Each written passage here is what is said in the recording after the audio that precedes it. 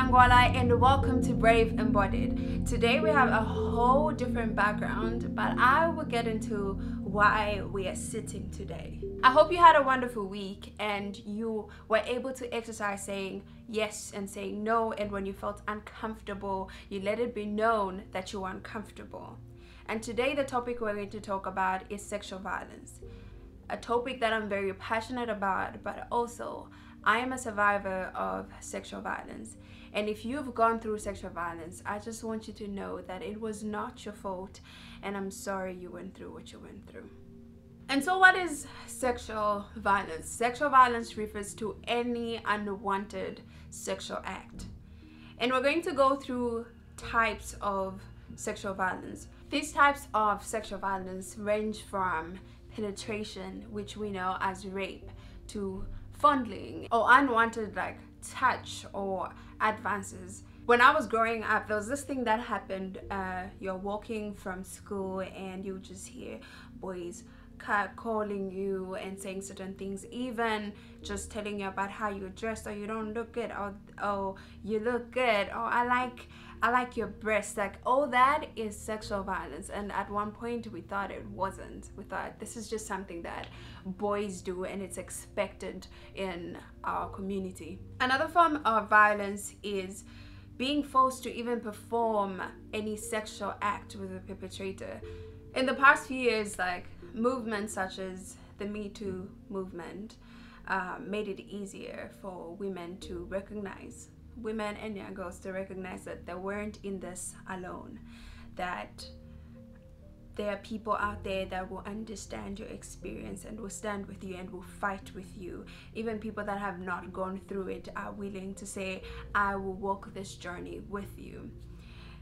And it's sad to know that one out of three women have gone through sexual violence. And so, even at your church, in your schools, if you're in a group of six friends, it is likely that one or two of you have gone through sexual violence. And that makes me sad, just really thinking about it. And if you have gone through it, these are the things I want you to know. I want you to know that it's not your fault. There will be moments that you will replay what happened and start thinking about what you should and could have done different. And you could beat yourself up and over and over again. I shouldn't have been there. I shouldn't have said, you know, uh, what I said. I shouldn't have called this person or I shouldn't have answered. I shouldn't have smiled. I shouldn't have gone there. You will tell yourself that, but it is not your fault. Another thing I want you to know is your clothes had nothing to do with what happened to you. I remember the first time I shared what happened. The first question I got from people or what people were mostly interested in knowing was what were you wearing?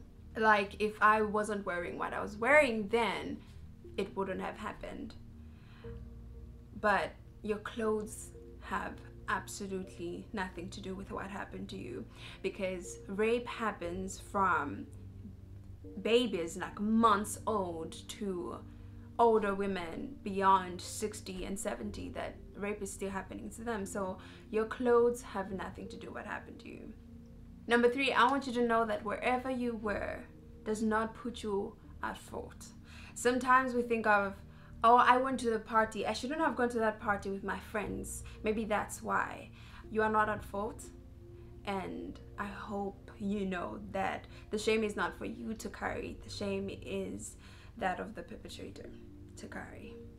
Number four i want you to know that just because someone is your partner or someone you had said yes to kiss someone you are vibing with does not mean it wasn't sexual assault there are moments where you feel like you are obligated to even, you know, allowing them to touch you. Or if they wanted to touch you, it's okay because, well, he's my boyfriend. Or, I mean, we've kissed before. Oh, they touched me before. Or, um, we are vibing, so it's okay. No, it's absolutely not okay. Your no, like we said in the previous episode, consent. You you saying no, you saying I'm not sure, you saying don't do it, you even being quiet, that in itself is saying I don't want it. Uh, and if the person goes against that, that is sexual assault. Well, there wasn't penetration. Like I just touched you, or I just kissed you, or I just, you know, was fondling and, and touched you inappropriately, but there was no penetration. So I really did not sexually assault you. That's a lie. Even if there was no penetration, as we mentioned earlier, unwanted sexual advances or touch is assault. And if that has ever happened to you, that's sexual assault. Living with the knowledge that you have been sexually assaulted is rough and it's tough. And I want you to know that in this journey, you have people that love you and that will stand with you and walk with you through your healing process. There's so many things that help me. Singing helps me, dancing helps me, really calming music helps me in moments where I am going back to those moments of I wish that this didn't happen. I wish I wasn't there when I have my moments of haves, which tend to only bring the shame and the blame back, which does not belong to you. The shame and the blame belongs to the perpetrator. So in those moments, I want you to remember um, that you are loved and that you're worthy and in this journey you're not in this alone. And also a verse that helps me is revelations 21 verse 4 this is what it says. He will wipe every tear from their eyes. There will be no more death or mourning or crying or pain for the old order of things has passed away.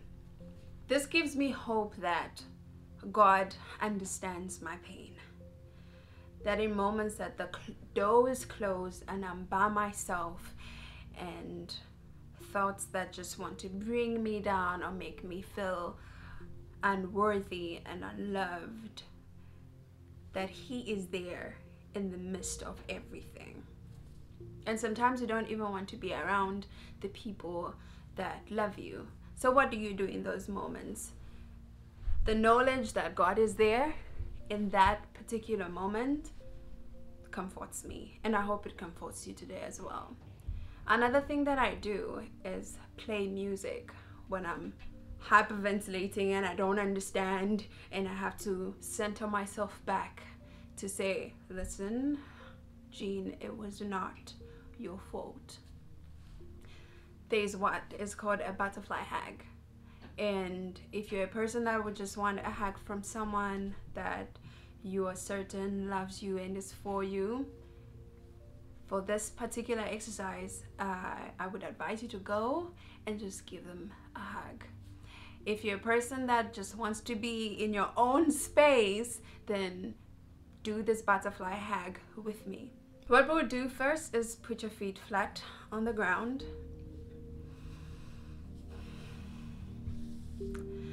and either put your hands on your thigh, or you could cross and touch your arms. For me, I love to play music as well because music is something that has always helped with my healing and music calms me down. So before I do this, I play music. Um, if you don't want to play music, you could say affirming words to yourself. But first, I want you to breathe in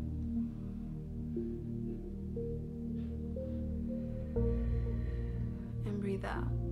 What I usually do is count up to four in my head as I breathe in and count up to four as I breathe out. So we'll do that again. Breathe in.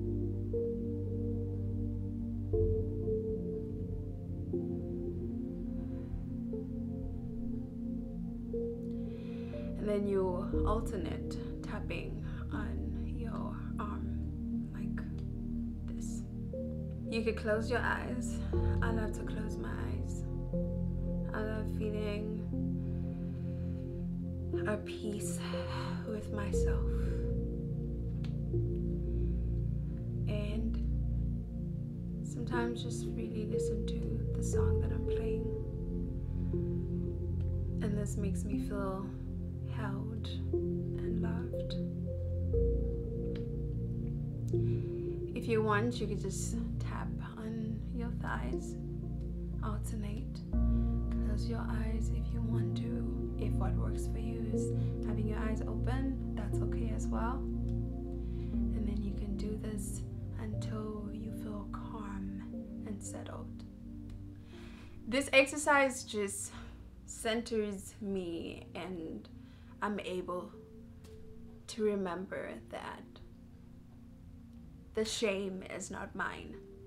And so this week, what I want you to do for me, play a song that makes you feel connected to God and sit while doing the butterfly hug.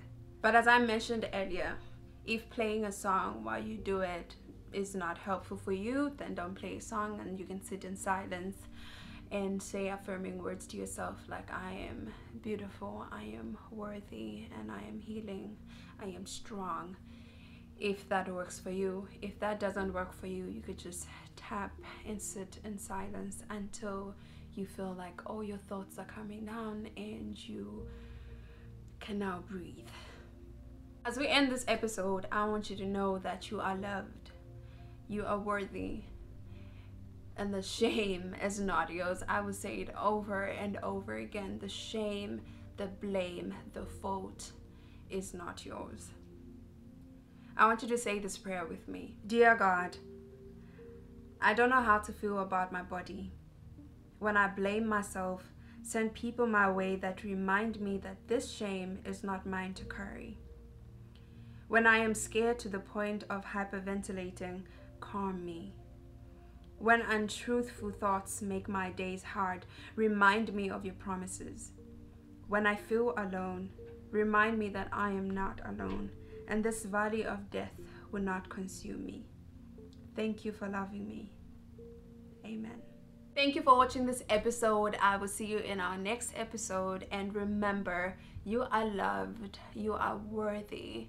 And I'll say it again the shame is not yours to carry. Until next time, have a good week.